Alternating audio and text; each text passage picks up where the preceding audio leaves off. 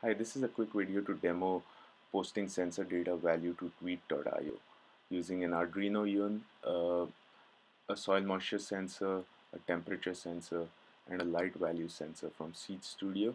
As you see here, I'm dipping my soil moisture value in a glass of water uh, and on the serial monitor here you see uh, data being posted to Dweet.io since it's in a glass of water the soil moisture value is about 600 odd and the interval for posting is about 30 seconds. Now I get the soil moisture sensor from my glass and add it to my house plant. And once you move to the serial monitor now which is on your screen uh, you would see that the soil moisture value is about 500 odd